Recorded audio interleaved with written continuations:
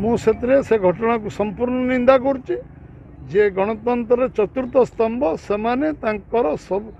ଅଧିକାର ଅଛି ପଞ୍ଚସ୍ତରୀ ବର୍ଷ ସ୍ୱାଧୀନତା ପରେ ଯେଉଁ ହୀନ ଚକ୍ରାନ୍ତ ହୀନ ବୁଦ୍ଧି ଆପ୍ଲାଏ କରିଛନ୍ତି ବିନାଶକାଳେ ବିପରୀତ ବୁଦ୍ଧି ବୋଲି ମୁଁ କହିବି ଯେ ଗଣମାଧ୍ୟମକୁ ତଣ୍ଟି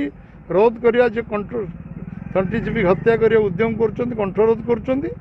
ସେମାନେ ସମାଜର ସାଧାରଣ ଲୋକ ତାଙ୍କୁ ନିନ୍ଦିତ କରିବେ ଏବଂ ଆଇନ ଅନୁସାରେ କୌଣସି ପ୍ରତିବନ୍ଧକ ଚତୁର୍ଥ ସ୍ତମ୍ଭ ଉପରେ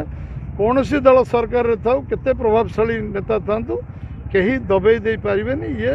ବିଗତ ଇତିହାସରୁ ଆମେ ସମସ୍ତେ ଦେଖିଛନ୍ତି ଜାଣିଛେ